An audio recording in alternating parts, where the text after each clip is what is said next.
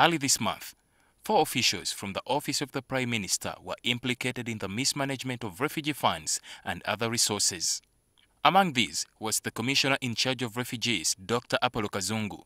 He and the three others have now been directed to step aside as investigations continue. Kazungu was expected to hand over office on Wednesday afternoon, but he did not show up. State Minister for Relief and Disaster Preparedness, Musa Echweru, could barely conceal his disappointment. Where the person is supposed to hand over is supposed to be here to take the new person to every around every office. You know, so it was regular, my peers acted in a very unprofessional manner, and I want it on record.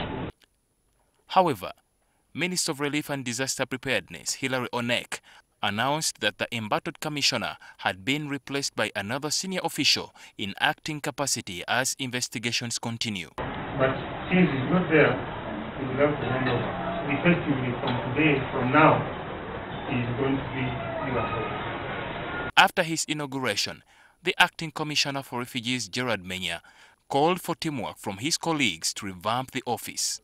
Ladies and gentlemen, issues of transparency, issues of integrity, issues of accountability have all been talked about and many others. See, the solution is with you and me. Onek explained that Dr. Kazungu remains a government employee and would be treated in accordance with the law and the civil service standing orders. Uganda now hosts more than 1.4 million refugees, with a majority from South Sudan and the Democratic Republic of Congo, DRC. Ali Mivule, NTV.